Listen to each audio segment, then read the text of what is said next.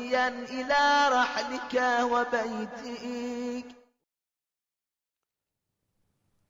آخر سؤال في هذه الحلقة. من الأخ العزيز الفاضل السيد عقيل الياسري من ألمانيا. سؤال السيد عقيل الياسري أذكر خلاصته لأنه طويل نسبيا وليس مهما أن أقرأ كل الكلمات. هو يصل إلى هذه النتيجة. يقول هل هناك من أمل أن يعود الشيعة إلى أحضان الثقافة الأصيلة لمحمد وآل محمد؟ وهذا سؤاله. هذا هو تعبيري ولكن هو هذا الذي يريد أن يصل إليه. هل هناك من أمل أن تعود الشيعة إلى منهج محمد وآل محمد بعيدا عن ثقافة الشوافع والأشاعرة والمعتزلة والصوفية والقطبيين؟ هل هناك من أمل؟ السؤال موجه لي وأنا سأجيب. أقول لك سيدنا سيد عقيل بصراحة بالنسبة لي بالنسبة لي لا. لا وجود لأمل مطلقا أبدا. لا أعتقد بذلك. على الأقل بالنسبة لي ربما قد تختلف أنت معي يختلف آخرون هذا شأنكم. لكنك وجهت السؤال لي. الجواب عندي لا أعتقد ذلك. أتمنى أن يكون تحليلي للواقع وفهمي لما يجري على الأرض ليس صحيحا. لكنني ماذا أصنع؟ هذه المعطيات التي عندي. وحينما أجيب بهذا الجواب؟ هذا الجواب لم يصدر عني جزافا. فأنا معبأ بتجربة عملية طويلة معقدة جدا. ومعبأ بثقافة شيعية تفصيلية في جميع الاتجاهات. وأمتلك معرفة بالتاريخ عموما وبتاريخ الشيعة خصوصا وبتاريخ مراجعنا بنحو أخص.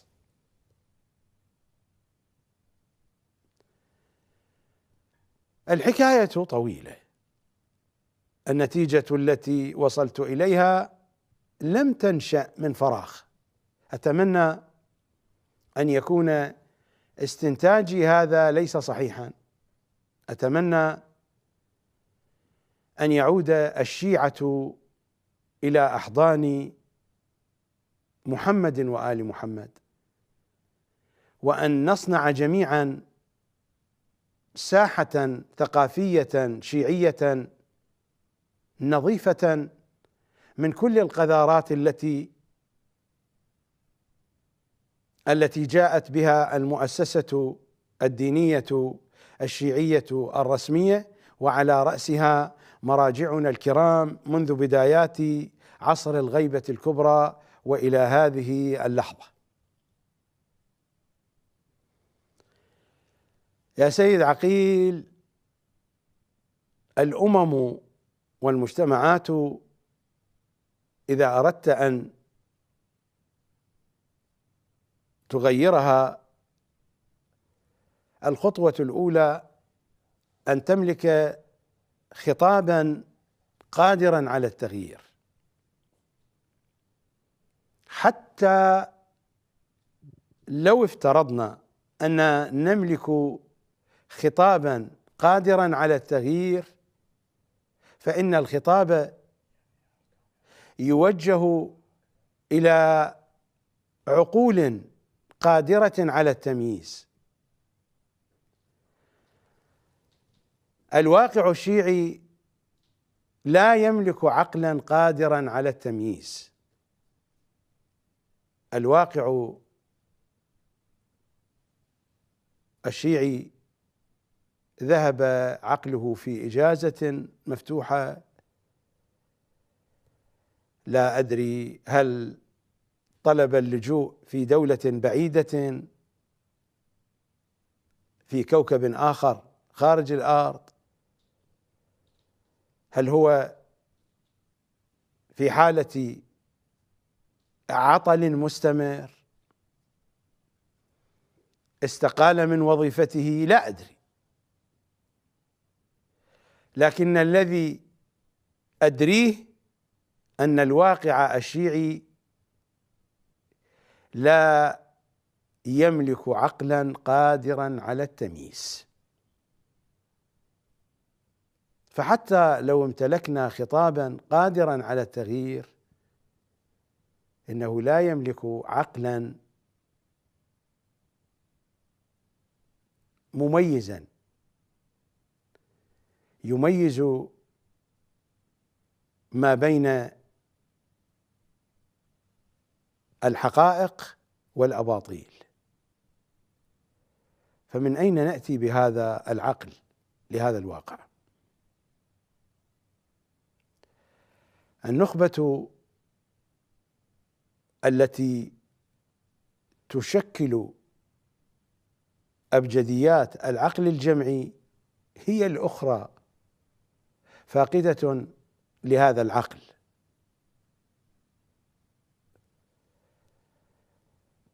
ومصادر التكوين العقلي تضخ الجهل والتجهيل والتسطيح والسفاهة والأكاذيب التي في بعض الأحيان تكون مقصودة وفي بعض الأحيان لا تكون مقصودة وإنما هم أيضا كذب عليهم. وكل هذا يتجلى في أصحاب العمائم وفي رجال الدين.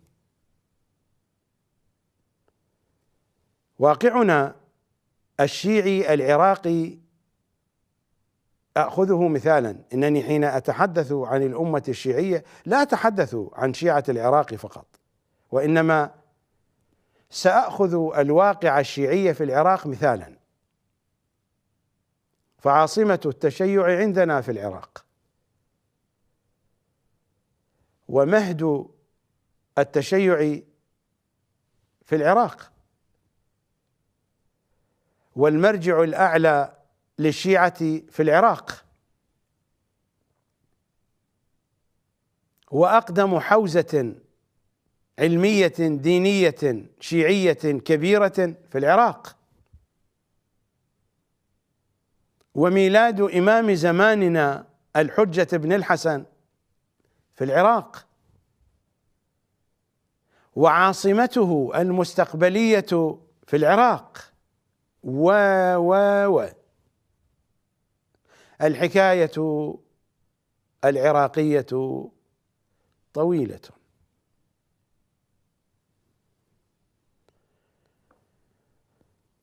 أنا سأعرض لكم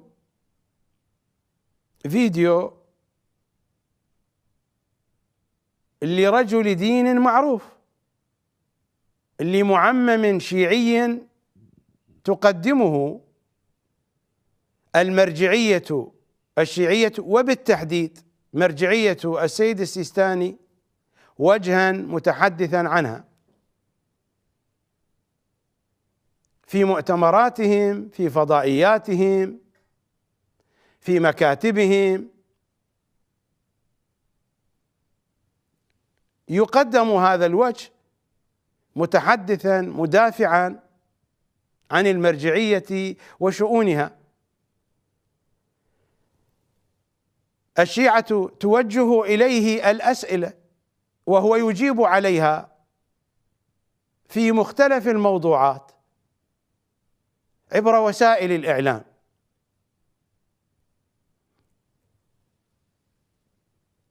إنه الشيخ محمد كنعان. سأعرض لكم فيديو يتحدث فيه الشيخ محمد كنعان. وبعد ذلك سأناقشه. رجاء اعرضوا لنا الفيديو الذي يتحدث فيه الشيخ محمد كنعان ورجائي من المشاهدين أن يلتفتوا إلى الكتابات التي ستكون مصاحبة للفيديو. مثلا المكان الذي يتحدث فيه الزمان والتفاصيل الأخرى. التي يمكن أن تظهر على هذا الفيديو. رجاء اعرضوا لنا الفيديو. علماء نعم يحفظون. نحن أيتام آل محمد. يأتي من يشكك فيهم. تعسا لشدقيك وقطعا للسانك. أيها المتتبع لزلات علمائنا اقرأ رسول الله. إنما أتخوف على أمتي من بعدي ثلاث خصال. أن يتاولوا القرآن على غير تأويله. هذا اللي قلنا فاتح حسابه. يريد أن يفسر القرآن برأيه. يعني أنت مستغني. ما حاجتك إلى أسباب النزول وإلى رسول الله وإلى 12 إمام؟ فاتح حسابه. أو يتبع زلة العالم. أو يظهر فيهم المال حتى يطغوا ويبطروا. وسأنبئكم المخرج. نعم يا رسول الله. نبئنا المخرج. وسأنبئكم المخرج من ذلك. أما القرآن فاعملوا بمحكمه. وآمنوا بمتشابهه. أؤمن بمتشابهه حتى أعثر على باب من رحمة الله اسمه حديث المعصوم. بفك لي مغاليق التشابه. بعد وأما العالم فانتظروا فيئة. خير. ولا تتبعوا زلته لأنه منه معصوم. وعندما يأتي لسن أشوه أخرق يستجمع الشاذ النادر من تاريخ علمائنا يصبح هو مدرسة في الشذوذ.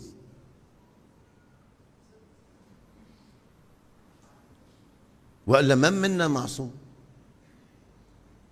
الآن في كل ما نتحدث به إذا تتبع متتبع يجد ثغرات وثغرات في النحو وفي الصرف وفي في الفكرة وفي... طب هذا رأيي. أبذل وسعي لأنهي هال 45 دقيقة. وما توفيقي إلا بالله.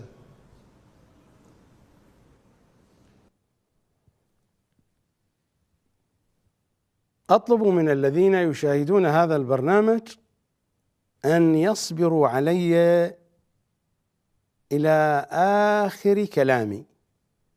وبعد ذلك يصدرون حكمهم. حكمهم على الشيخ محمد كنعان ويصدرون حكمهم على حديثي وقولي. حديثي وقولي بشكل عام أو فيما ذكرته جوابا على سؤال السيد عقيل الياسري من ألمانيا من أنه لا أمل في صلاح الواقع الشيعي باتجاه آل محمد.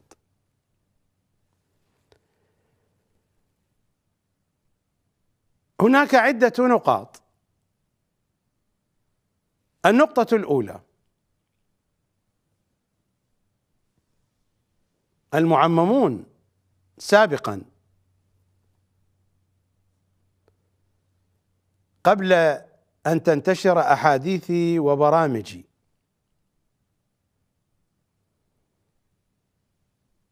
حينما يذكر المراجع. ما كانوا يتكلمون بهذه الطريقة. فهو هنا لم يستطع أن يكذبني. هو يتحدث عني القضية واضحة. لم يستطع أن يكذبني. هو ثبت من أنه هناك شخص يتتبع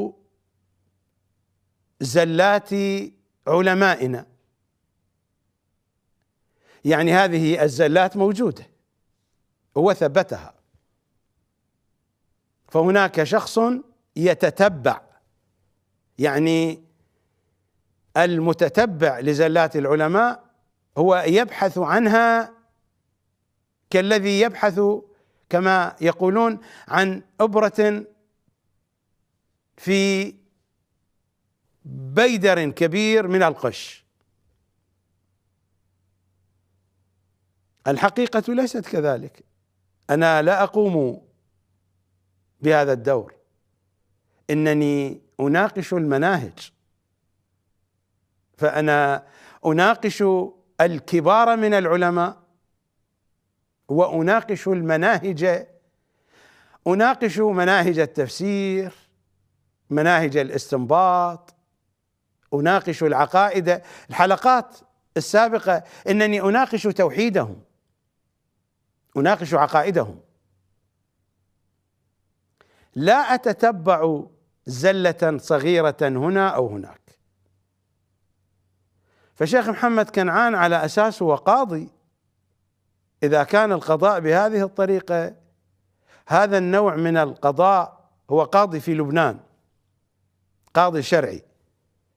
إذا كان القضاء بهذه الطريقة هذا نحن نسميه في العراق هذا قضاء أبو اللقو إذا كان قاضيا عليه أن يدرس جميع المعطيات ثم بعد ذلك يحكم عليها. احاديثي منذ الثمانينات موجودة على الإنترنت. ما بين أوديو وفيديو ومطبوعات. وتنتشر انتشارا واسعا. يمكنكم أن تدخلوا على الإنترنت وتكتبوا اسمي. فأحاديثي موجودة وهي في أعمق الأبحاث وفي أدقها. حين أتناول موضوعا أبحثه في مئات ومئات من الساعات بالمصادر والأدلة والحقائق. والوثائق. فهل هذا يسمى بتتبع زلات؟ أو هذا تحقيق وبحث ونقاش وطرح مفصل لأعقد المباحث وأهم الموضوعات. فهو إذا لم يكن مطلعا على هذا واكتفى بإخبارات أعوان المرجعية إذ هو يتحدث في ممثلية مرجعية السيد السيستاني في الكاظمية هذا مسجد آل ياسين. وهنا ممثلية مرجعية السيد السيستاني ومكتوب مكتوب على الميكروفون تعريف بالمكان. وهذا الحديث في شهر رمضان في الثاني عشر من شهر رمضان لسنة 1439 يعني شهر رمضان السابق. نحن الآن ابتدأنا في سنة 1440 شهر رمضان السابق. شهر رمضان المتقدم في اليوم الثاني عشر في الكاظمية في مسجد آل ياسين حيث ممثلية مرجعية السيد السيستاني. ودائما مرجعية السيد السيستاني تقدمه وجها للحديث لأنها لا تملك شخصيات بعبارتنا العراقية ينطلع بهم. فهم لجهلهم أيضا لجهل هذه المرجعية تتوقع أن هذا الشخص ينطلع به وسنرى نرى حديثه ينطلع بي لو ما ينطلع بي. أنا آت بالتفصيل. فأنا أقول لسماحة القاضي أنت إما أن تكون جاهلا بهذه الحقائق المنتشرة الموجودة على التلفزيون وعلى الإنترنت إما أن تكون جاهلا واعتمدت على أكاذيب وترهات وتفاهات من اعوان مرجعية السيد السيستاني. نقلوها لك. فستكون أنت الأخرق. أنت وصفتني بأنني أخرق. ولا أبالي. ولكن ستكون أنت الأخرق. لأنك اعتمدت على أقوال جهال وكذابين. ولم تبحث عن الموضوع. لترى بنفسك سعة الموضوعات والأبحاث التي تناولتها وأتناولها. وإما أنك تعرف ذلك وأنت تريد أن تخدع الناس. فأي قضاء هذا؟ مثلما قلت لك يا شيخ محمد هذا نحن نسميه قضاء ابو اللقو أي قضاء هذا؟ أي حق هذا؟ وأنت في شهر رمضان. وفي جوار الأئمة في جوار موسى بن جعفر باب الحوائج وفي جوار إمامنا أبي جعفر الجواد. صلوات الله وسلامه عليهما.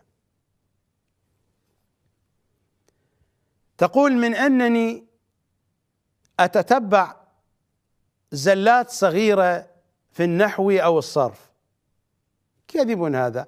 لأنني أنا نفسي شخصيا أقع في هذه الزلات. اللغة العربية لغة معقدة وصعبة جدا. ربما قد تكون من أصعب اللغات في العالم. ونحن ما تعودنا على التلفظ بها في حياتنا اليومية. فحينما يتحدث متحدث باللغة العربية الفصيحة ولا أقول الفصحى لأنه ما من أحد يتحدث في هذا الزمان باللغة الفصحى. كلنا نتحدث باللغة الفصيحة التي هي لغة الإعلام والتي أتحدث بها أنا الآن وأنت أيضا تتحدث بها. وكلنا نقع في الأخطاء النحوية واللغوية والصرفية وأنا أيضا أقع في هذا. فأنا لا أتتبع هذه الزلات الصغيرة لكنك تعلم من أن الدين في عقيدته وفي سائر تفاصيله أساسه النصوص والنصوص كلام وكلام نصوصنا بالعربية. فحينما يخطئ المرجع ولا يفهم النص فإنني أحتاج لبيان خطئه أن أشخص عدم فهمه للعربية.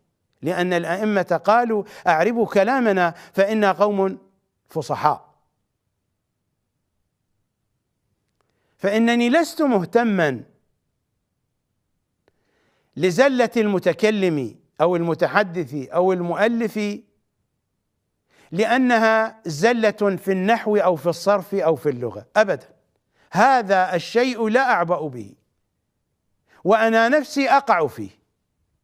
مثلما يقع الآخرون فيه. لكن حقائق الدين أساسها نصوص. وهذه النصوص عربية. ولا نستطيع أن نفهمها. من دون أن ننظر إلى قواعد النحو والصرف. من هنا يأتي اهتمامي بهذه الجزئيات لكنني لست مهتما بها لأنها هي مهمة في نفسها وإنما أحتاجها لبيان جهل مراجعنا وعدم فهمهم لحديث العترة الطاهرة وفقا لموازين آل محمد.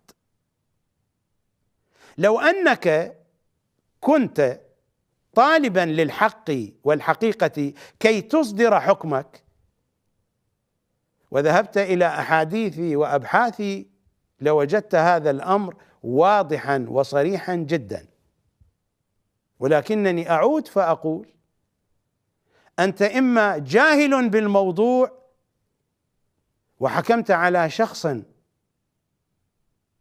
له وجود في الإعلام ويستطيع أن يرد عليك وأن يفضحك وهذا هو غاية الحماقة وغاية الخرق. فما أنا الأخرق؟ أنت الأخرق الذي تقوم بهذا. وسأثبت خرقك الذي هو في أخس درجات الخرق من خلال حديثك الآن ومن خلال جهلك ومن خلال عدم فهمك ومن خلال تزويرك الكلام على رسول الله. سأثبت لك ذلك.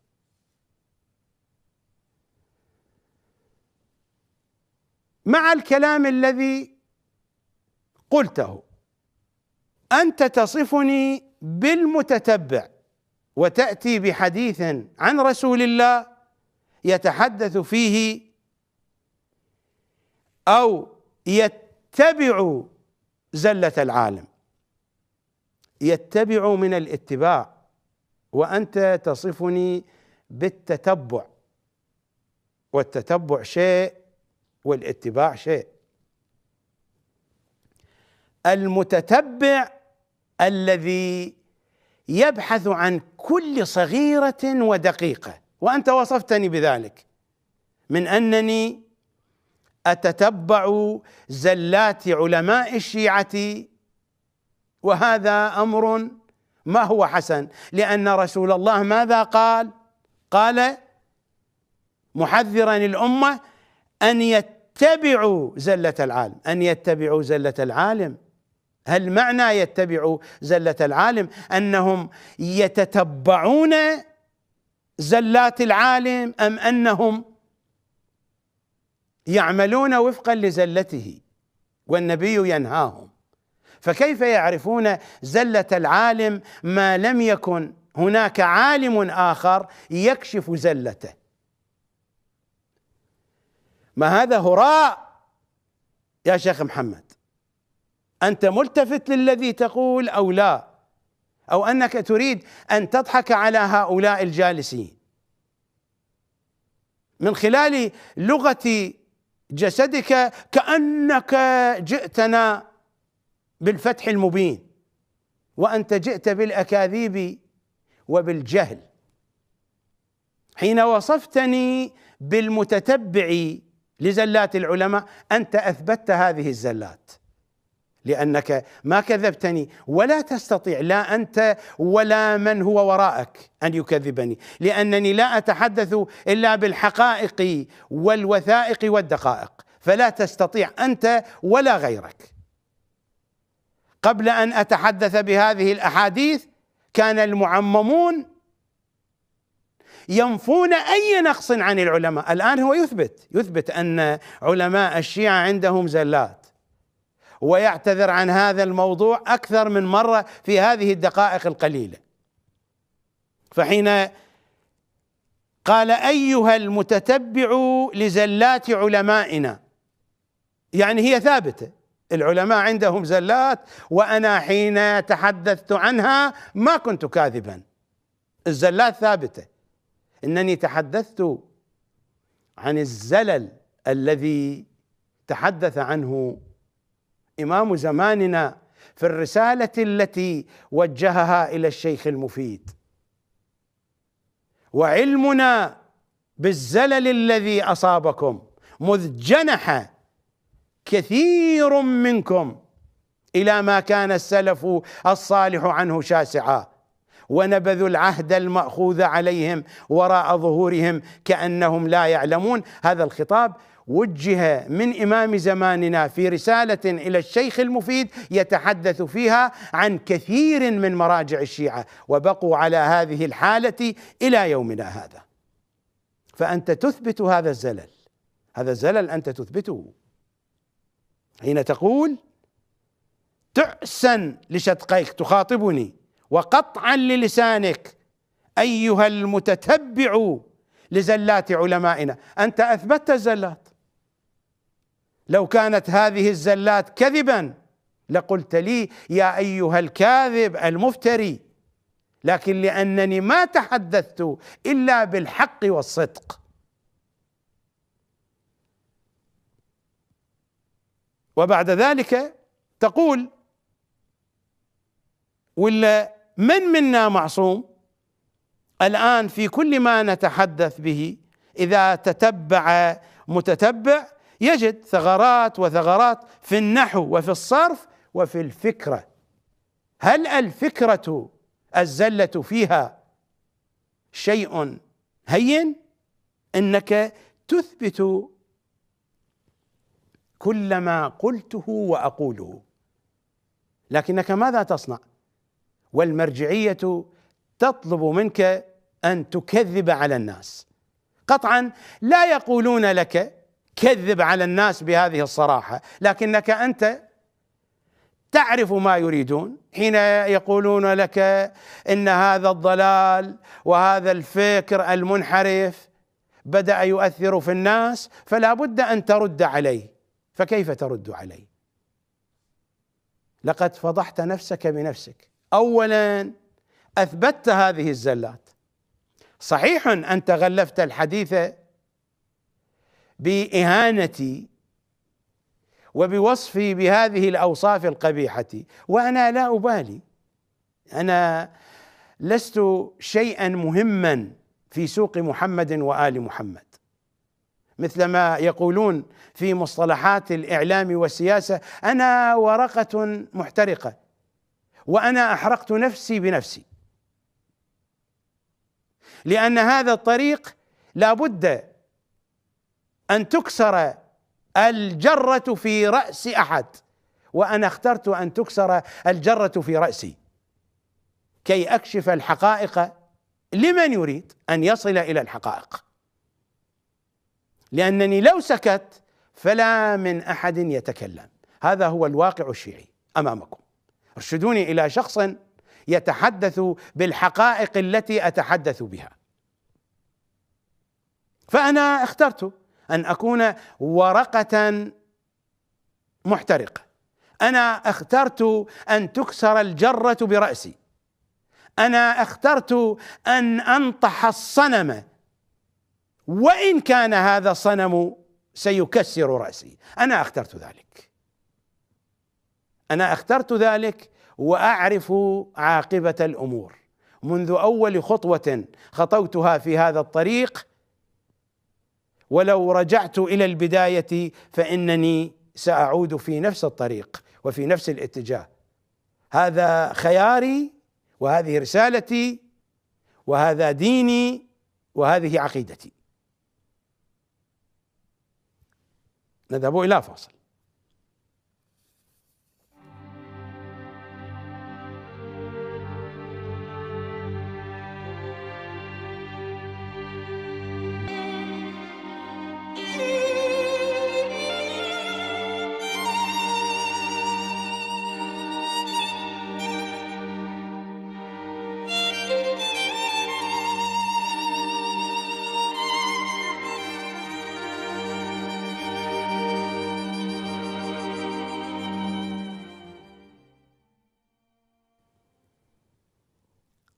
أنت تقول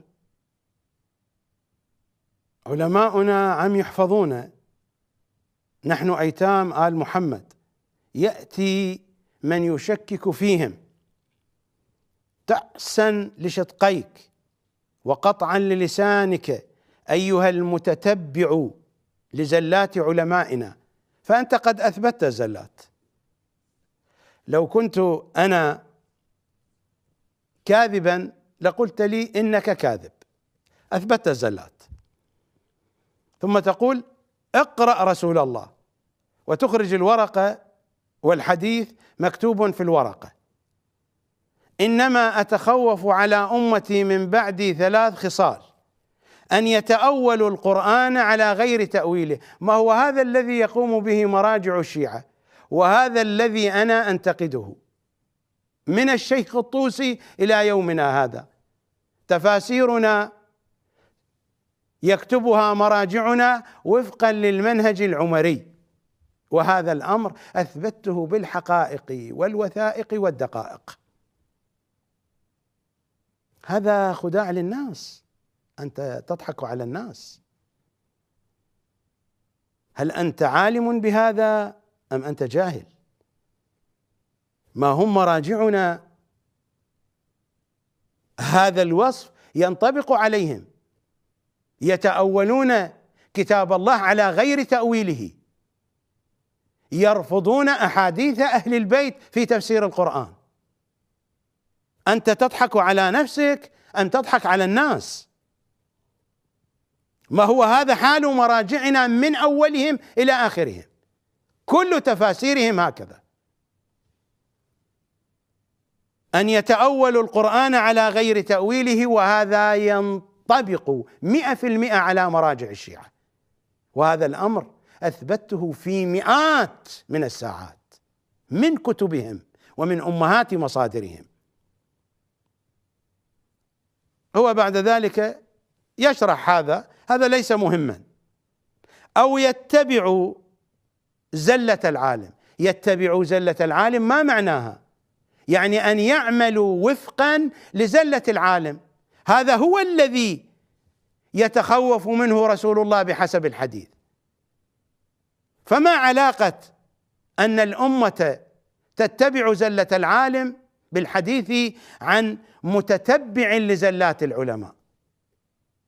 المتتبع غير الذي يتبع زلة العالم. الذي يتبع زلة العالم الذي يعمل بزلة العالم.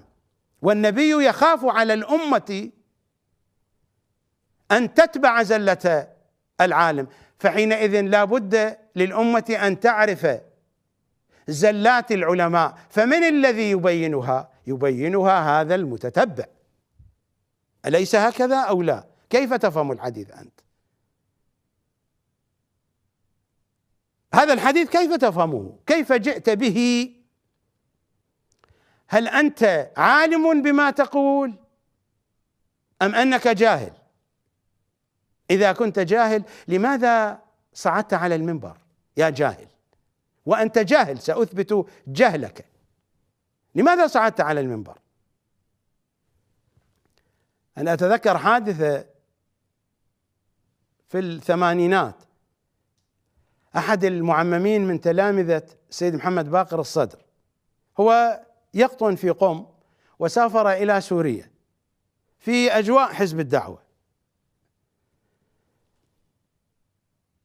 فكتبوا إعلانات في السيدة زينب. هناك كان العراقيون يتجمعون. كتبوا إعلانات في المكان الفلاني في القاعة الفلانية محاضرة لسماحة فلان الفلاني.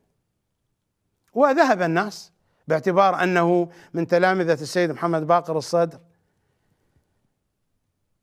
وآت من قوم. والناس عطالة بطالة تريد تسمع حكي يعني. فذهبوا إلى القاعة. فلما صعد هذا المعمم للحديث ابتدأ حديثه بكليشة ولكنه بالغ فيها كثيرا. عادة يبتدئ بها الكثير من المعممين. فقال لهم ما أنا عالم ولا أنا خطيب ولا أنا أديب كي أحدثكم ولا أنا مفكر ولا أنا فيلسوف. كان أكو رجال شايب قاعد بال بالمجلس. قام له قالت وين ام اللي شو تسوي صاعد فوق يعني؟ وين ام أنت؟ إذا لا أنت عالم لا أنت خطيب لا أنت أديب لا أنت مفكر لا أنت فيلسوف لا عاد على شنو جمعتونا؟ وين ام اللي أنت صاعد فوق؟ شو تسوي؟ فأنا أقول لهذا القاضي إذا أنت مو قاضي لا تحسن القضاء. وإذا أنت جاهل وين أم اللي صعد على المنبر؟ سأثبت جهلك باليقين.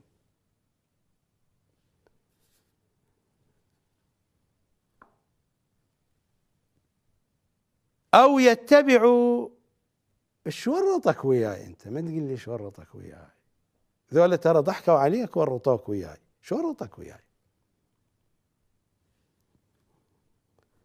ما أنا قلت لبعض المراجع في برامج سابقة يا أبو بشت بيش بلشيت وين بلشيت شو ورطك وياي؟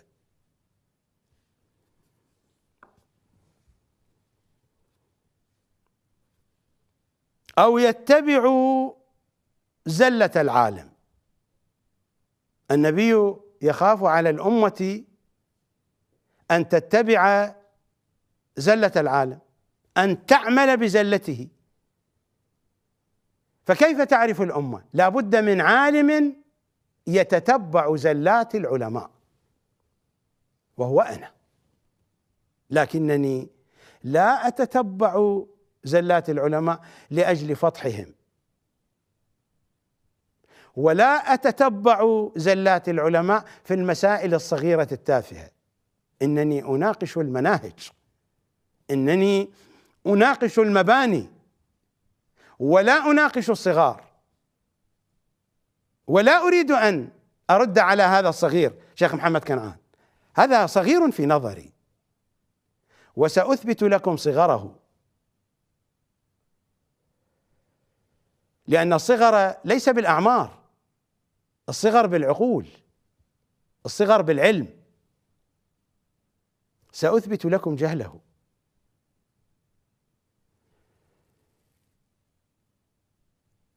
أنا ما أريد أن أرد على كل كلمة وكل كلماته ليست صحيحة لكنني سأذهب إلى بعضها. إلى أن يقول وسأنبئكم المخرج من ذلك. وأما العالم فانتظروا فيئة. وأما العالم فانتظروا فيئة. هو شرح فيئة قال خيره ولا تتبعوا زلته لأنه ليس معصوما. هذا الكلام يثبت صحة قولي من أن الحقائق التي ذكرتها هي صحيحة لا يستطيع أن ينكرها. هذه عملية ترقيع. وأما العالم فانتظروا فيئة. هو قال انتظروا فيئة خيره ولا تتبعوا زلته لأنه ليس معصوما. وعندما يأتي لسن أشوه أخرق يستجمع الشاذ النادر. يعني هذه حقائق موجودة. لا يستطيعون أن يكذبوها. قبلا كانوا يكذبون. يقولون علماؤنا ما عندهم أخطاء ولا عندهم اشتباهات. الآن لا يستطيعون. بعد أن وضعت الحقائق على الطاولة وشرحت تشريحا واضحا بدأوا يرقعون بهذه الطريقة. وأما العالم فانتظروا فيئة. قال خيره يعني فانتظروا الخير منه ولا تتبعوا زلته لأنه ليس معصوما. وعندما يأتي لسن اللسن من هو؟ اللسن هو الذي يستطيع أن يتحدث وإذا ما استمع إليه المتحدث يراه متحدثا لكنه في الحقيقة لا يتحدث بشيء صحيح. هذا هو اللسن. وهذا ينطبق على شيخ محمد كنعان مئة بالمئة سأثبت ذلك لكم. أنتم ترونه يتحدث حتى في برامج التلفزيون. يخرج على قناة كربلاء يجيب على الأسئلة أنا ما تابعت كل إجاباته لكنني وأنا أتقلب وأقلب القنوات في بعض الأحيان أرى شيخ محمد كنعان على قناة كربلاء فأستمع إلى بعض أجوبته. كل الأجوبة التي استمعت إليها ما هي بصحيحة؟ يخوط بصف الاستكان. مثل شعبي عراقي أو عبارة تضرب مضرب الأمثال. يخوط بصف الاستكان. الاستكان هو قدح الشاي وعادة يوضع السكر فيه. فحينما نريد أن نجعل الشاي حلوا لابد أن نحرك السكر في داخله بالملعقة. الخائب ماذا يفعل؟ يحرك الملعقة بجنب القدح. فلا السكر ذاب ولا الشاي صار حلوا ويبقى صاحبنا يحرك بالملعقة خارج الاستكان خارج القدح. بالتعبير الشعبي العراقي يخوط بصفو الاستكان وشبيه من يثرد بصف الماعون. لا يجعل ثريده في الإناء. لا يجعل ثريده في نفس الإناء وإنما يجعل ثريده على الأرض بجانب الوعاء بجانب الإناء. يثرد بصف الماعون.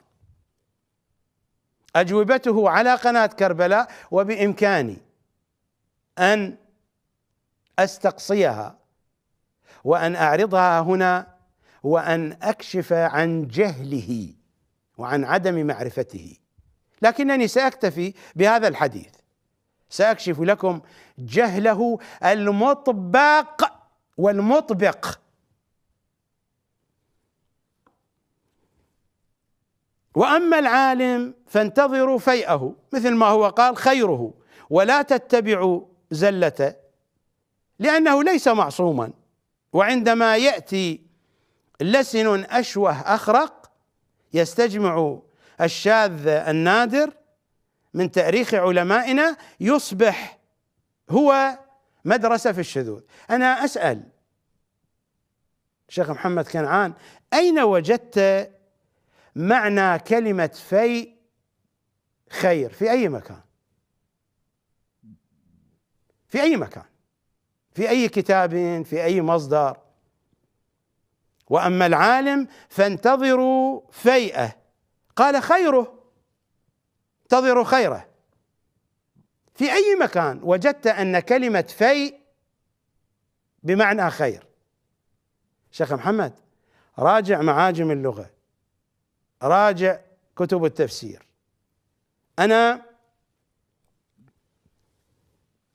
سأضع بين أيديكم هذا القرآن. سورة البقرة آية 226 للذين يؤلون من نسائهم هذا موضوع فقهي. للذين يؤلون من نسائهم تربص أربعة أشهر فإن فاءوا فإن رجعوا. فإن فاءوا فإن رجعوا. فإن الله غفور رحيم. هناك باب فقهي. من أبواب الطلاق والفراق باب الإيلاء. للذين يؤلون من نسائهم تربص أربعة أشهر فإن فاءوا فإن رجعوا.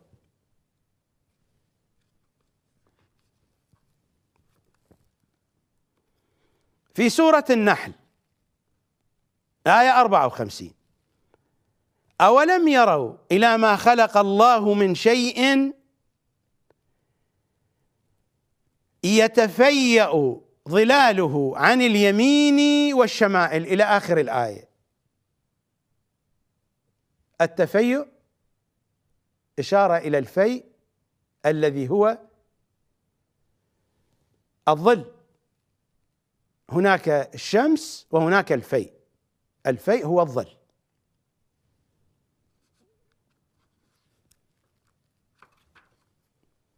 في سورة الأحزاب الآية الخمسون. يا أيها النبي إنا أحللنا لك أزواجك. اللاتي آتيت أجورهن وما ملكت يمينك مما أفاء الله عليك. من الفيء وهو الغنيمة. مما أفاء الله عليك مما رد عليك من الغنيمة. نفس المعنى. رد أو رجع. وأنا أقول اذهبوا إلى كتب اللغة وإذهبوا إلى كتب التفسير عند السنة والشيعة في معاني هذه الكلمات. في سورة الحجرات الآية التاسعة وإن طائفتان من المؤمنين اقتتلوا فأصلحوا بينهما فإن بغت إحداهما على الأخرى فقاتلوا التي تبغي حتى تفيء إلى أمر الله حتى ترجع إلى أمر الله حتى تعود. فإن فاءت يعني فإن رجعت فاصلحوا بينهما بالعدل إلى آخر الآية. في سورة الحشر وفي الآية السادسة والسابعة وما أفاء الله على رسوله منهم. فما أوجفتم عليه من خيل ولا ركاب. وما أفاء الله على رسوله من الفيء الغنيمة. ما رد الله عليك من الغنيمة. فسرها البعض أعطاك من العطاء. في الآية السابعة ما أفاء الله على رسوله من أهل القرى. ما رد عليك من الغنيمة أو ما أعطاك من الغنيمة. وفي الروايات نفس المعاني وفي اللغة نفس المعاني. الفيء الظل والفيء الرجوع والفيء الغنيمة. هذه معاني الفيء. في الكتاب الكريم وفي حديث النبي والعترة وفي معاجم اللغة. من أين جئت بهذا المعنى؟ نقل كلام رسول الله بمعنى محرف هذا كذب على رسول الله. إذا كنت في نهار شهر رمضان لقد أفطرت بالكذب على رسول الله لأن المجلس في اليوم الثاني عشر من شهر رمضان. لقد كذبت على رسول الله. فما معنى الفيء هنا هو الخير؟ ابدا. قد تقولون ما معنى؟ أنا سأبين لكم معناه ولكنني أنا أريد أن أتحدث مع هذا الجاهل وفقا لكلامه الذي ذكره. وأما العالم فانتظروا فيئه قال خيره ولا تتبعوا زلته. ثم ماذا قال؟ لأنه ليس معصوما. مراد رسول الله هو هذا. حين قال انتظروا فيئة ولا تتبعوا زلته. مراده يبرر للعالم لأنه ليس معصوما. وهذا مراد رسول الله. لأن مرادك هو هذا. تريد أن تبرر زلة العالم أخطاء المراجع. هذا هو الذي تريد أن تقوله للناس. رجاء أعيد بث الفيديو وأتمنى على المشاهدين أن يدققوا في كلامه وأن يتذكروا ما قلته. وعندي كلام طويل. إلى الآن ما أتممت كلامي. رجاء اعرضوا الفيديو. علماء نعم يحفظون. نحن أيتام آل محمد. يأتي من يشكك فيهم. تعسا لشدقيك وقطعا للسانك. أيها المتتبع لزلات علمائنا اقرأ رسول الله.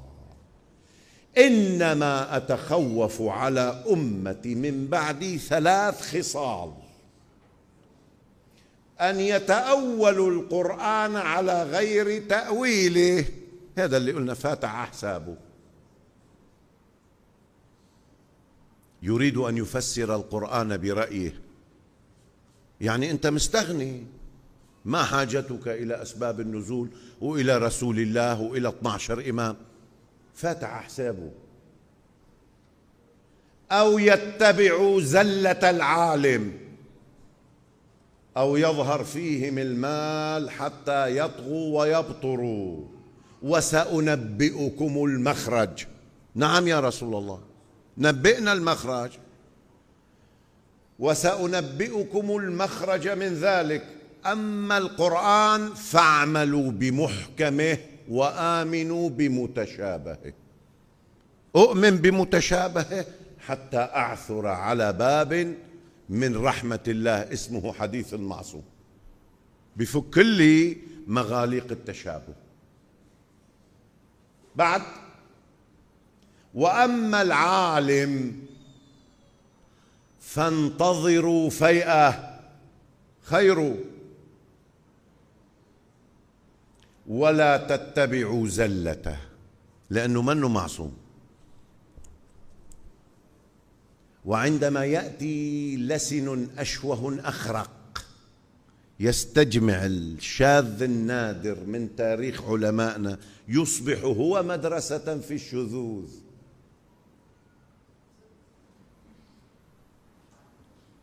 وإلا من منا معصوم؟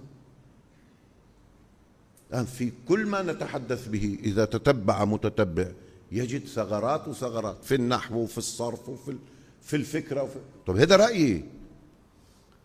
أبذل وسعي لأنهي هال 45 دقيقة.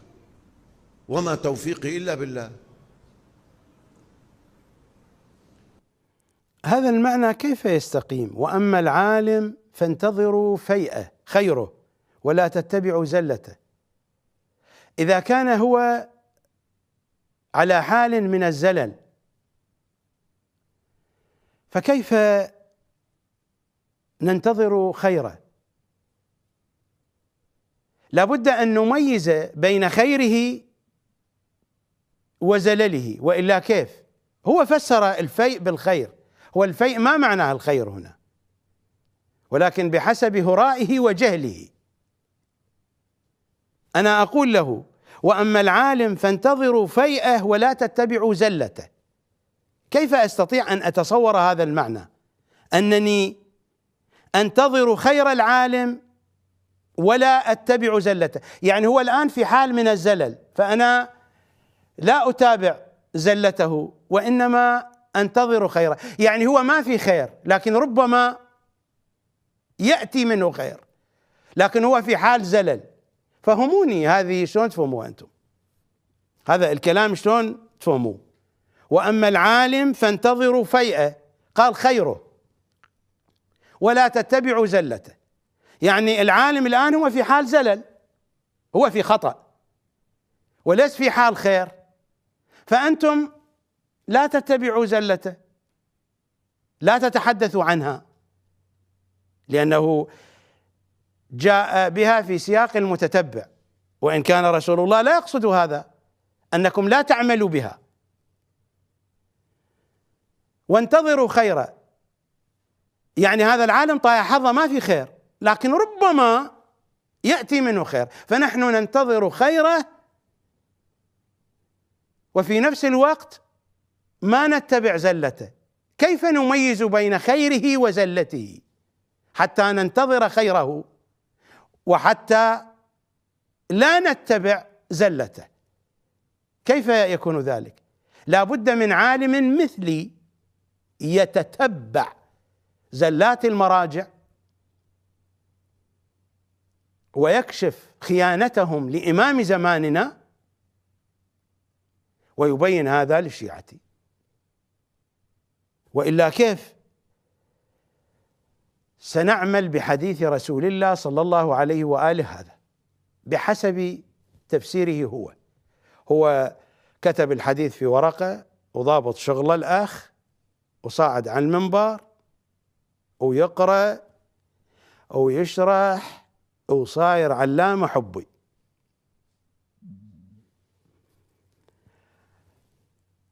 وأما العالم فانتظروا فيئة. إيش جابك هنا؟ جابك.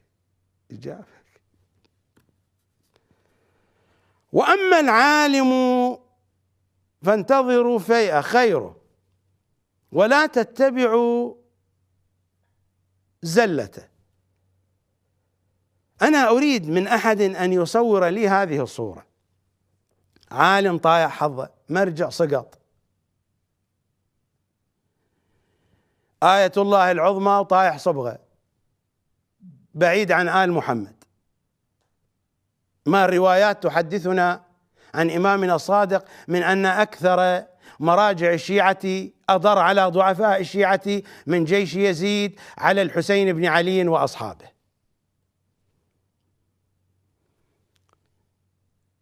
واحد من هذا النوع. زلاته واضحة. ليس مكشوفا للناس. بحسب شيخ محمد كنعان على الشيعة أن تنتظر خير. متى يصدر منه الخير؟ ننتظر فيئة خيره.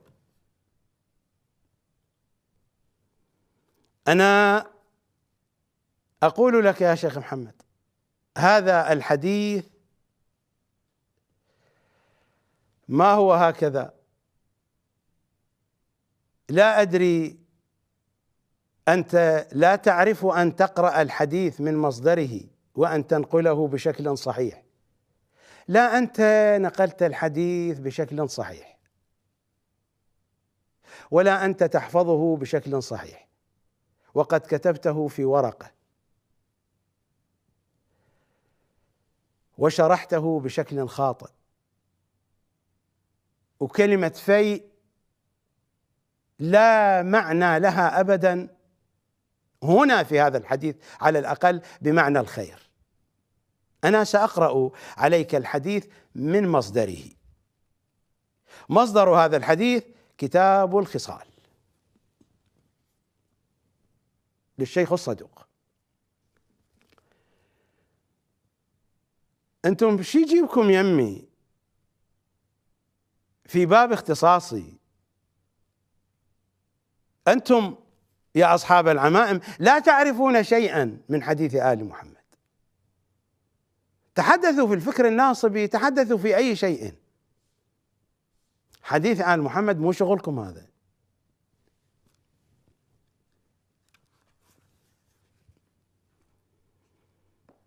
هذا كتاب الخصال. للشيخ الصدوق طبعة مؤسسة النشر الإسلامي. قم المقدسة في باب الثلاثة.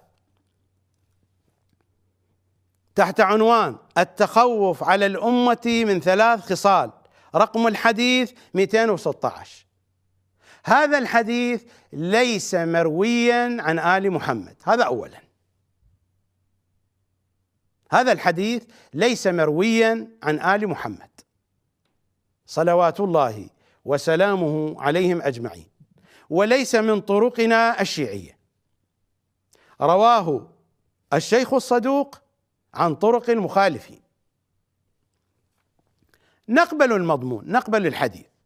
بالمجمل نقبل المضمون نقبل الحديث. لا أريد أن أناقش هذه القضية ولكن هذا الحديث للعلم فهو لم يرد عن آل محمد ولا من أسانيدنا الشيعية. جاء من أسانيد المخالفين ورواه الشيخ الصدوق في كتاب الخصال. عن محمد بن كعب قال قال رسول الله إنما أتخوف على أمتي من بعدي ثلاث خصال أن يتأولوا القرآن على غير تأويله أو يتبعوا زلة العالم يتبعوا زلة العالم أن يعملوا على أساسها. هو جاء بالحديث في باب التتبع لزلات العلماء. أو يتبعوا زلة العالم. أو يظهر فيهم المال حتى يطغوا ويبطروا. وسأنبئكم المخرج من ذلك. أما القرآن فاعملوا بمحكمه وآمنوا بمتشابهه. وأما العالم فانتظروا فيئته ولا تتبعوا زلته. هذا هو النص. وأما العالم فانتظروا فيئته يعني رجوعه إلى الحق. فيئة العالم فيئة الرجل. ما مرت علينا الآيات. مرت علينا الآيات. مثلما جاء في سورة الحجرات.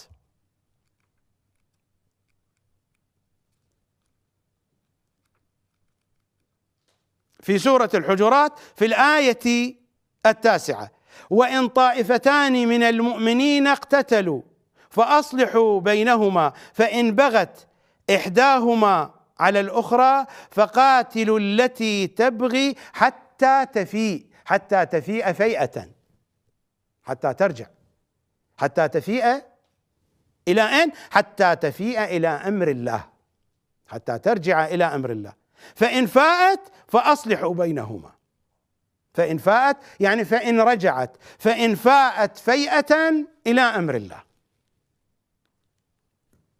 وأما العالم فانتظروا فيئته ولا تتبعوا زلته. والسجع واضح أيضا. وأما العالم فانتظروا فيئته يعني رجوعه إلى الحق. هذا المعنى يمكن أن نتصوره. فنقول العالم ليس معصوما يخطئ ويصيب. فإذا كان الآن في حال زلل نحن نتركه. ولكن علينا أن نبين للناس زلله وخطأه حتى تلتزم الأمة بأمر رسول الله أن لا تعمل بزلة العالم. نحن محتاجين لهذا العالم. رجع إلى الحق فاء إلى الحق. حينئذ ننتظر فيئته. هذا صاحب خبرة صاحب معرفة. غرر به الشيطان فأضله. غرر به السلطان فأخذه باتجاهه. لكنه إذا فاء إلى الحق فإننا نأخذ الحكمة حتى من فم الكافر من فم المجنون. هذا هو منطق محمد وآل محمد. وأما العالم فانتظروا فيئته ولا تتبعوا زلته. أدري يا شيخ محمد الحديث ناقله غلط. تنقل الحديث بشكل خاطئ. ثم تعطي معاني لغوية خاطئة. فالفيء ما هو الخير؟ حتى إذا أردنا أن نقرأ الحديث وأما العالم فانتظروا فيئه فانتظروا رجوعه. الفيء معناه الرجوع. ولكنني قرأت الحديث من مصدره. وأما العالم فانتظروا فيئته. انتظروا رجوعه. ولا تتبعوا زلته. وأما على قولك وأما العالم فانتظروا فيئة خيره. كيف ننتظر خيره؟ وهو في حال زلل ولا تتبعوا زلته. من أين يأتينا هذا الخير وهو في حال زلل؟ الحديث تنقله بشكل خاطئ تفسره بشكل خاطئ. تطبقه علي بشكل خاطئ لأنك وصفتني بالمتتبع والحديث يتحدث عن الاتباع. لأنك بدأت بحديثك تخاطبني. أيها المتتبع لزلات علمائنا اقرأ رسول الله. أو يتبع زلة العالم فما علاقة المتتبع بالاتباع. لا أنت نقلت الحديث من مصدره بشكل صحيح. هذا واحد. اثنين لا أنت بينت المعاني اللغوية بشكل صحيح. ثلاثة لا أنت شرحت الحديث بشكل منطقي وواضح. أربعة. لا أنت طبقت الحديث على من تريد أن تطبقه عليه بشكل صحيح. وأنت تتحدث وكأنك الديك الرومي. بالعراقي نقول الفسيفس. كأنك الديك الرومي. بحركاتك كأنك فتحت الفتوح. يا أيها الجاهل يا أيها الأخرق من هو الأخرق؟ أنا أم أنت؟ الأخرق أنت يا شيخ محمد. هؤلاء ضحكوا عليك.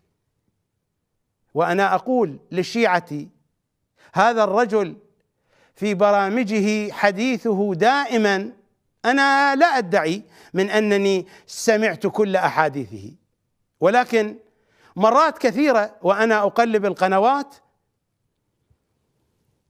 أرى أن الشيخ محمد كنعان يجيب على الأسئلة في قناة كربلاء فإنني أسمع منه شرح الأحاديث بهذه الطريقة. هؤلاء أمناء على العلم أمناء على الدين.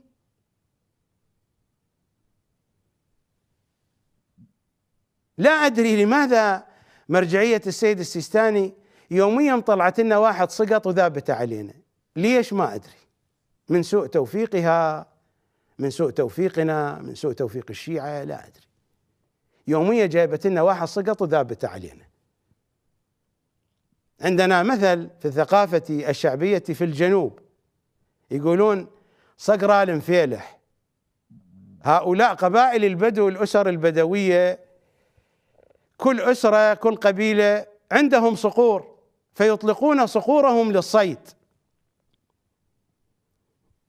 وآل مفيلح أيضا هم في جملة هذه القبائل والأسر البدوية. عندهم صقر. هذه صقور الوادم تروح تصيد حمام تصيد طيور وصقرة المفيلح يروح يدور لهم الحية الكبيرة يلقطها لقط. يجيبها ويتوحها يسقطها على هله وتظل هاي النسوان الفروخ الفروخ يعني الأطفال. الفاريخ تظل تتباغق. تتباغق يعني ترتفع أصواتها بالصراخ. تتباغق يعني ترتفع أصواتها بالصراخ.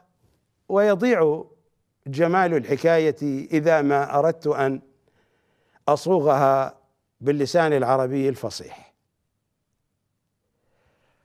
فصقرة المفيلح يروح يلقط الحية لقط ويجيبها يسقطها على أهله. صقور الباقين تأتي بالحمام وبسائر أنواع الطيور.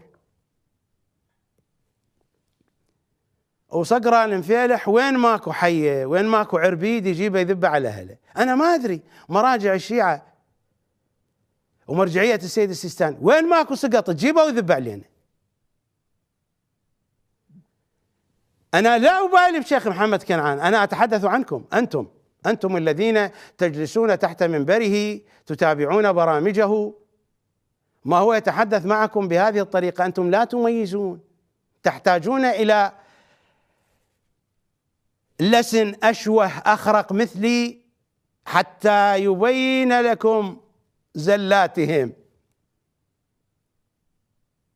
أنتم بحاجة إلى أشوه وأخرق مثلي يبين لكم الزلات. هذا أيضا استجماع للشواذ يا شيخ محمد. يا أيها القاضي يا أيها البطل. رجاء أعيدوا بث الفيديو. علماءنا عم يحفظونا. نحن أيتام آل محمد. يأتي من يشكك فيهم. تعسا لشدقيك وقطعا للسانك.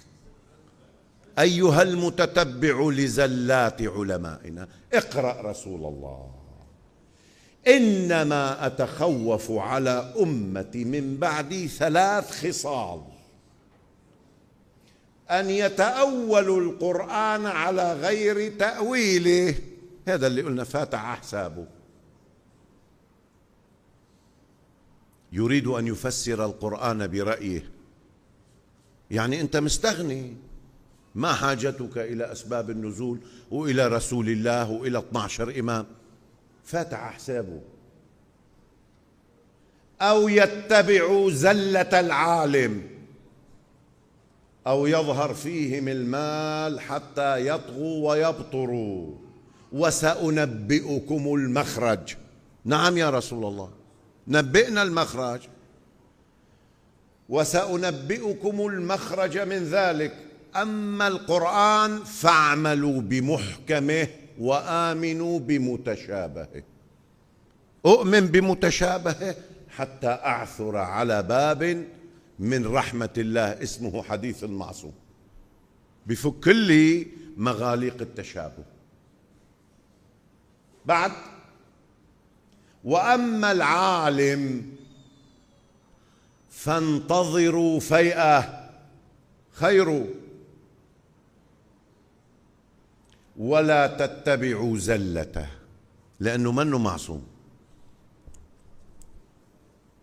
وعندما يأتي لسن أشوه أخرق يستجمع الشاذ النادر من تاريخ علمائنا يصبح هو مدرسة في الشذوذ.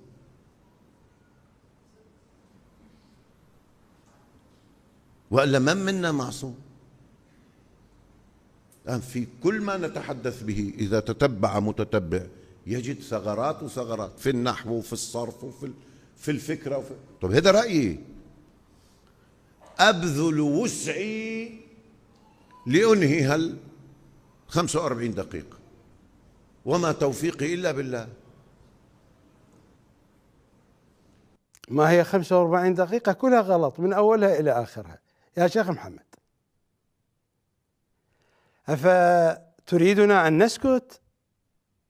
وأنت تقذف بهذا الهراء وبهذا القيء وبهذا الافتراء على رسول الله في مسجد اسمه آل ياسين. تسمية باسم عائلة ولكن آل ياسين هم آل محمد. في مسجد عنوانه عنوان آل محمد. وفي شهر رمضان أنت تفتري على رسول الله صلى الله عليه وآله وتحرف كلامه. وعلى منبر رسول الله. وأنت تتكلم بطريقة وكأنك جبت السبع من ذيله.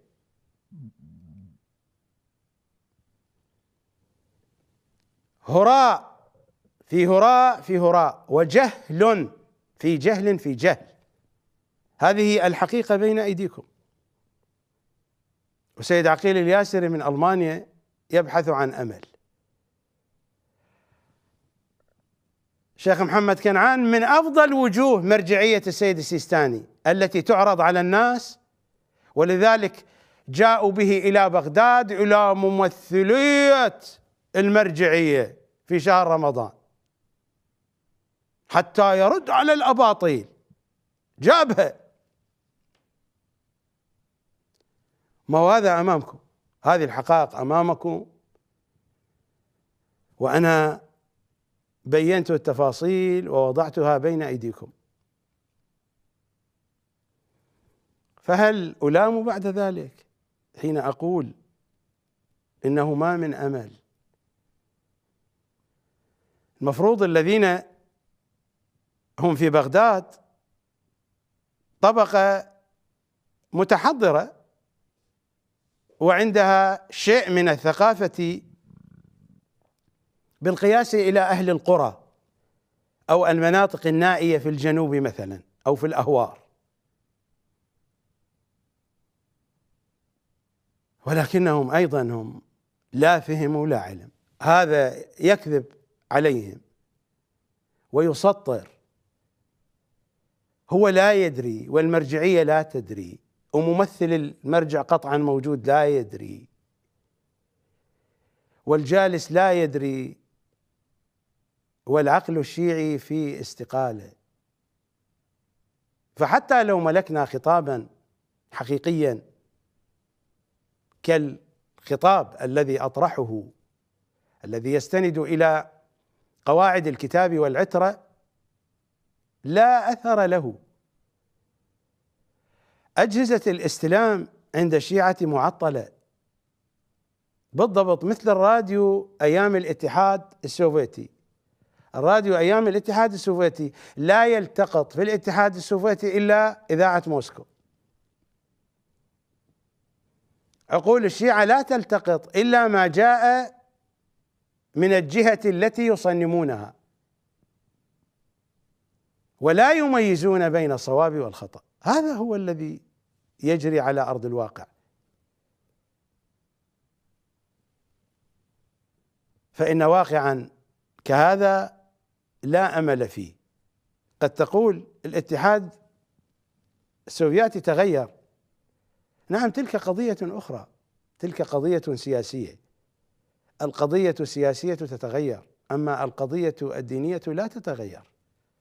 القضية الدينية إما أن يكفر المتدين بها بحسب الظروف الموجودة الآن في الواقع الشيعي وإما أن يبقى ديخيا. هيئوا لنا الوثيقة الديخية لأن الوثيقة الديخية رائعة السيد كمال حيدري. هي من أفضل ما يمكن أن أبثها الآن بين أيديكم. أعرضوا لنا الوثيقة الديخية وطبقوا بين مضمون الوثيقة الديخية وبين ما تقوم به المرجعية العليا من خلال متحدثيها الأجلاء من فضلاء العلماء الكبار حيث يفترون على الشيعة وعلى رسول الله ويقدمون هذه الأكاذيب. جهل في جهل في جهل. أنا أقول لك يا شيخ محمد أنت هكذا قلت تأسا لشدقيك وقطعا للسانك أيها المتتبع لزلات علمائنا. أنا لا أبالي بهذا الكلام ولكنني أقول لك إن شدقي أزينهما دائما بحديث آل محمد وبفهم صحيح.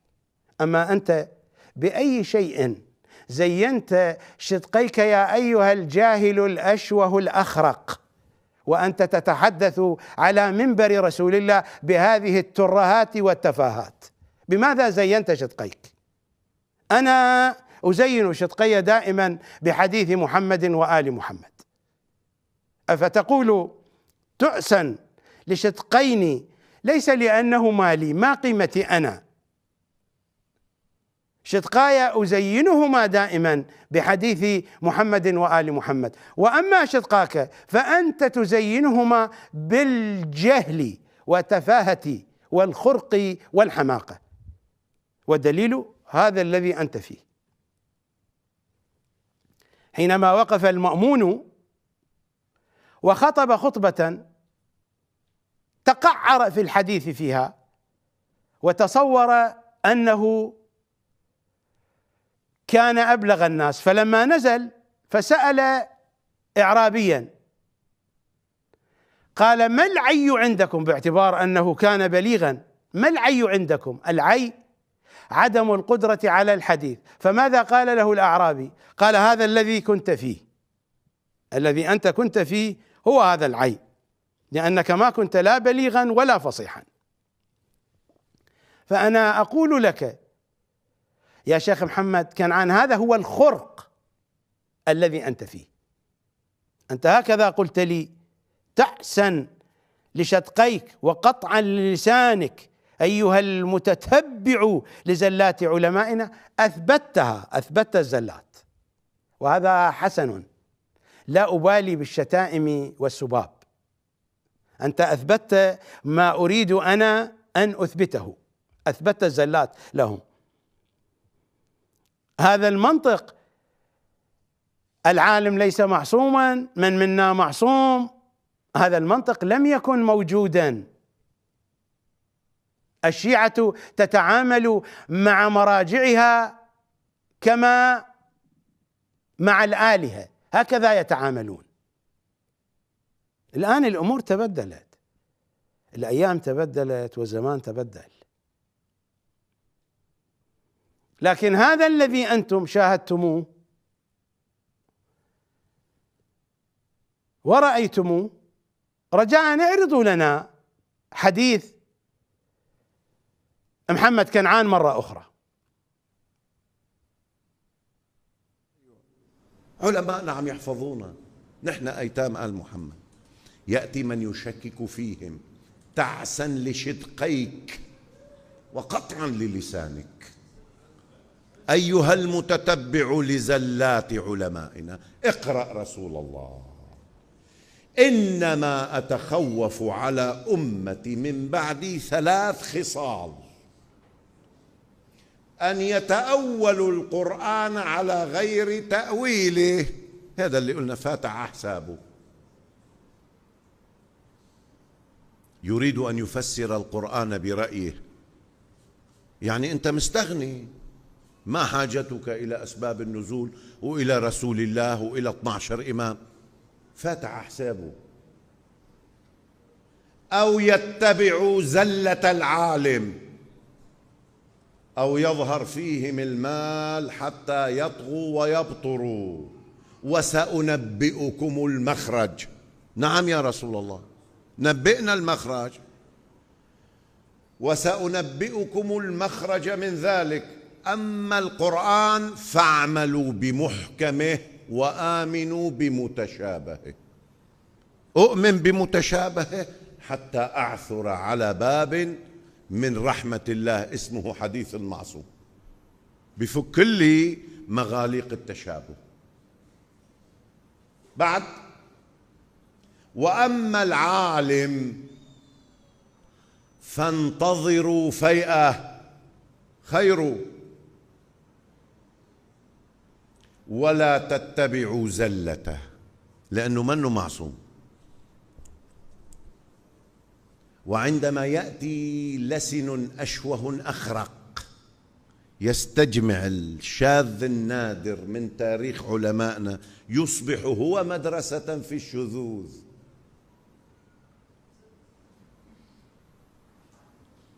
وإلا من منا معصوم؟ الآن في كل ما نتحدث به إذا تتبع متتبع يجد ثغرات وثغرات في النحو وفي الصرف وفي في الفكرة وفي طب هذا رأيي. أبذل وسعي لأنهي هال 45 دقيقة. وما توفيقي إلا بالله.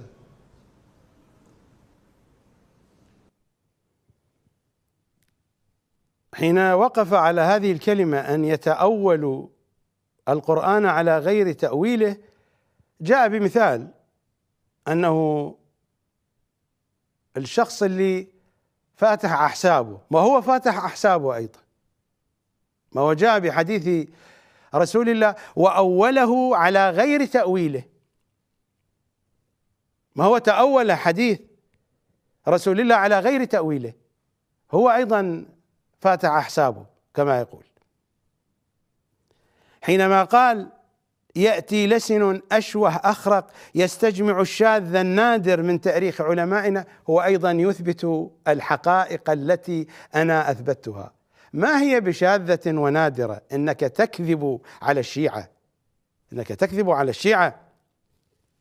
وأنا أقول للشيعة الذين يتابعون قناة السيد السيستاني الفضائية قناة كربلاء برامج هذا الرجل أجوبتها من هذا القبيل. ثقوا. لو أنني أريد أن أتناول إجاباته سأمزقها تمزيقا. إجابات خاطئة. يخوط بصف الاستكان. لا تعتمدوا على إجاباته. قطعا أنا لا أدعي أنني قد استمعت إلى كل إجاباته. ولكن هو هذا يكفي الآن. وما استمعت إليه سابقا من أحاديث كثيرة هي أسوأ من هذا أسوأ من هذا بكثير. لكنني جئت بهذا الكلام لا لأنه ينتقدني. الإنترنت مشحون بالأكاذيب. الآن إذا دخلتم إلى الإنترنت كل الكتابات الموجودة والله كاذبة في تواريخها وأسمائها كل شيء كتب عني. ليس صحيحا. لا أبالي ولا أرد ولكنني جئت بهذا المقطع مثالا كيف أن الشيعة وهم في مركز ممثلية مرجعية السيد السيستان في بغداد العاصمة. في الكاظمية. هذه الطبقة تكون مثقفة. بالقياس إلى القرى والمدن النائية. هذا هو حال مضحكة. ولذلك أنا سأهدي للجالسين في مجلس العلامة الكبير القاضي الفاضل العالم بحديث رسول الله المطلع على اسرار اللغة العربية الذي اتحفنا بحقائق المعاني واسرار التأويل العلامه الشيخ محمد كنعان. دام ظله الشريف الذي يمثل وجها مشرقا من وجوه مرجعية السيد السيستاني. بهذه المناسبة أهدي لهم هذه الهدية رائعة السيد كمال الحيدري الوثيقه الديخيه ما أريد أجيب الأسماء. واحد قال لي على شنو مستعجل؟ على شنو مستعجل؟ قلت له أخر بابا ما توصل النوبيليه قال توصل اطمئنا تركبهم يعني الشيعة تركبهم وتقول لهم ديخ والله نفس عبارته واحد من الاعلام قبل خمس سنوات قال لي استعجل وش دا أقول لك تركب يعني أهمي شيني خلاقة أهمي شيني بقول لك بكير حالة فقش ديخ عربية فقش ونفس عبارته كنا على ثقة وكلكم تعرفونه لأنه ما أجيب الأسماء. عرضنا. قال تركب مثل ما ركب فلان وقال ديخ لا مو علم إجمالي. هذا واقع واقع الشيعة. لا أقول واقع الشيعة هذا والله هذا واقع الشيعة. صدقت يا سيد كمال حيدري. والله هذا هو واقع الشيعة هو هذا واقع الشيعة. وهذه الحقائق والوثائق أمامكم. نلتقي غدا. يا كاشف الكرب عن وجه أخيك الحسين. اكشف الكرب عن وجوهنا بحق أخيك الحسين.